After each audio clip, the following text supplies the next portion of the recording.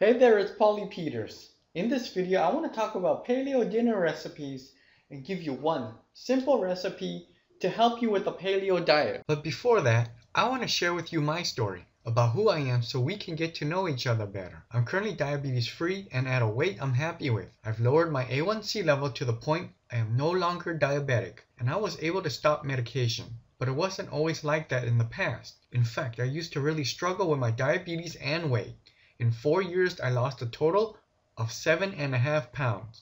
Doing vegan, Weight Watchers, gluten free, you name it, I most likely did it. My diabetes was so bad, my doctor kept telling me that I'd get vision loss, nerve damage, and kidney disease if I didn't change. But then I discovered the paleo diet. I wish I learned about it before I got sick and gained a lot of weight. It wasn't until a colleague at work told me that his neighbor had success with it that I started. I decided to give it a shot as I had nothing to lose. I finally discovered how to control my diabetes, lose the excess weight, and keep it off. After I used the simple recipes in the paleo diet, I was able to go from a depressed overweight diabetic to a normal diabetes free enjoyable life. I'm now able to go to the gym 3 to 4 days a week with incredible stamina.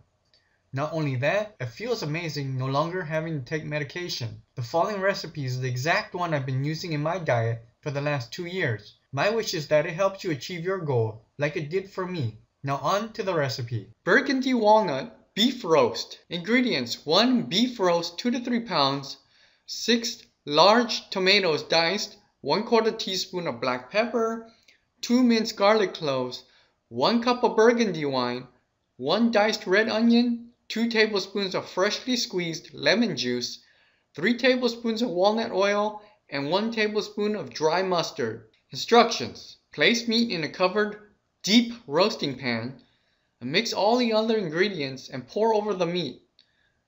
Cover and bake at 350 degrees for 1 to 1.5 hours.